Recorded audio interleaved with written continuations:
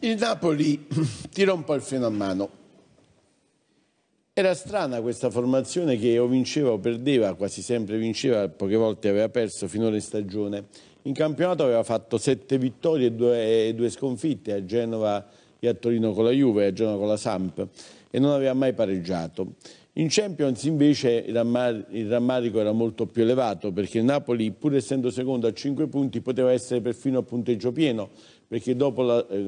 la bella vittoria, splendida vittoria sul Liverpool, eh, prima e dopo ha, ha, collezionato due pareggi che sinceramente hanno lasciato molto l'amaro in bocca. A Belgrado, giocando male ma pur eh, evidente la sua superiorità molte palle gol sprecate e a Parigi eh, proprio questa settimana il Napoli ha dominato e avrebbe meritato una sacrosanta vittoria. Purtroppo però il pareggio di Parigi vede raddoppiarsi col pareggio del San Paolo con la Roma. Roma bestiaccia nerissima per il Napoli a San Paolo, visto che per il quarto anno consecutivo la Roma fa punti, anzi per tre anni ci ha vinto addirittura e stasera sembrava aver portato a casa un'altra volta la vittoria se Mertens proprio negli ultimi minuti non fosse riuscito a pareggiare le sorti di una gara che, che francamente il Napoli non meritava però di perdere perché noi questa sera non abbiamo visto un brutto Napoli ma abbiamo visto la tredicesima formazione diversa consecutiva di Ancelotti su 13 partite ma che è stata la più vicina possibile alle precedenti cioè questa è la squadra che ha battuto il Liverpool, quella che ha giocato questa sera, con una sola differenza. Maximovic in panca e Yosai in campo ma rispetto alla partita giocata proprio in settimana col Paris Saint Germain i cambi sono stati solo due e vale a dire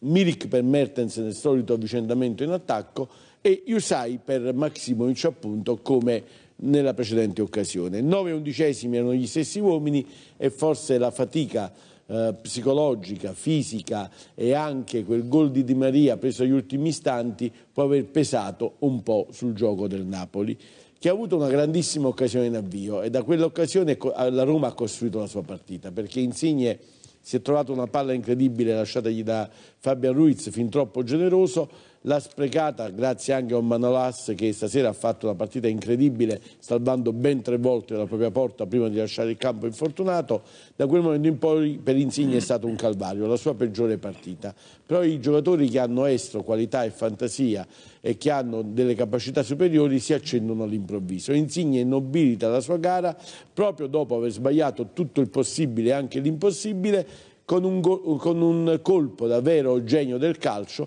un cross incredibile di sinistro sulla linea di fondo quasi eh, con palla che stava per uscire che ha consentito a Cagliacon di ciccare il tiro e fare un involontario assist per Mertens sopraggiunto in corsa. Proprio lì Insigne ha eh, riscattato in parte la sua pessima serata.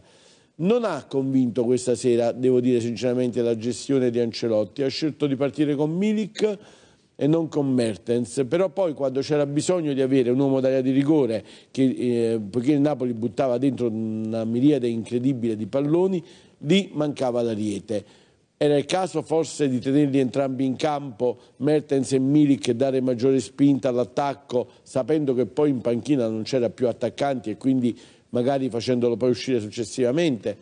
Stasera ha fatto dei cambi un po' sarriani, uomo su uomo, Malcui per Yosai, eh, Zielischi per Amsic che ha fatto una buonissima gara ehm, e Mertens per Milik. Stasera la lettura della gara mi è sembrata fatta molto bene da Di Francesco che ha giocato in realtà, in realtà ha giocato con un 4-5-1 perché i due esterni giocavano sulla linea di centrocampo facendo una grande diga come avevamo detto nel prepartita la Roma corre poco, corre poco e corre male, ma ha una grandissima fisicità e poi lì davanti Geco e Under hanno qualità. Sharavi si è trovato una palla eh, sui piedi che era impossibile da sbagliare, ma il movimento di Geco è stato fantastico. Under ha dato una palla a Geco su cui Ospina è stato ancora più bravo, sia nella lettura sia nell'evitare il rigore e poi Albiol ha salvato. Ma insomma la Roma ha concretizzato pochissime volte un'occasione d'attacco, ha fatto una partita di contenimento come